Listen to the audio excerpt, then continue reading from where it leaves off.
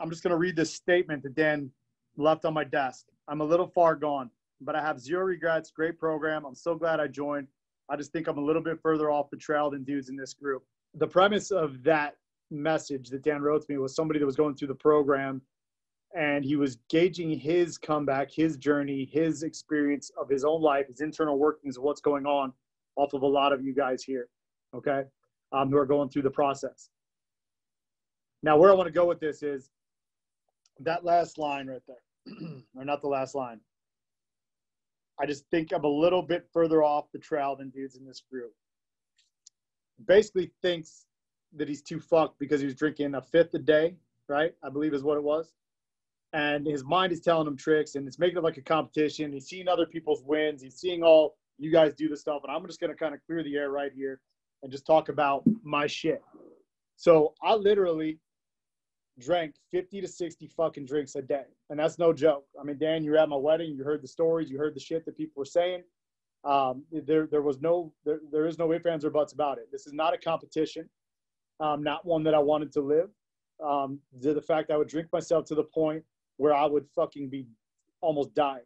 On top of then filling myself full of cocaine, uh, heroin, fucking handfuls of pills. I remember a day that I would eat, I ate some morphine like at whatever time it was. I, and I'm fucking doing great, man. I'm driving, trying to fucking like living my life, driving a fucking loaded up Escalade, like making money, successful. But I remember eating this morphine and turning the day into like three fucking days because I'd end up nodding out and like falling asleep, then getting back up, then falling asleep. My point is this my story is my story. Day real story, or uh, his story is his story. Dan's story is his story. I see some people commenting up here. Uh, for you guys that are catching this, because I don't think he's on here, catch this on the replay. I'm talking to you too. Nothing fucking matters. It doesn't matter how much you've done, how how how many fucking chicks you've banged, how much drugs you've done, how much I've done how much everyone's walked this, this story of their life. What matters is you decide to make the commitment. What I hear when I read this, and because I care, is I hear somebody who's telling me, man, I'm not ready to commit to myself. This is a blatant fucking lie to themselves. I'm a little too far gone. Like that statement right there, just giving up on yourself. Period.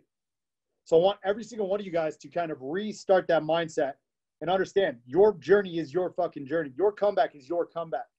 I had to start over seven fucking times, hurting myself day in and day out. But I never quit. And neither are you guys. It all starts with the mindset of not quitting.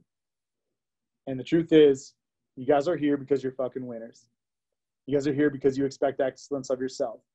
And that's what happens in your mind when you start you start gauging your comeback off of somebody else's because it's not as excellent or as up to the par of what you want to be or the person you want to be. You see somebody else, Frank Harville just popped into my mind. The dude's fucking killing it, right? You see people killing it, and because you see these guys winning, you start going backwards, and that is fucking hiding. That is the alcohol lying. That's the fucking the deep rooted shit lying. That's you giving up on yourself and saying in my little note that Dan left for me, I'm a little too far gone, and declaring that you're fucking powerless. And I can't stand for it.